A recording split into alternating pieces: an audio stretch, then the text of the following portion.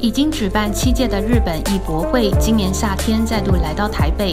这次选在老爷大酒店展出，吸引了不少日本当代艺术迷前往参观。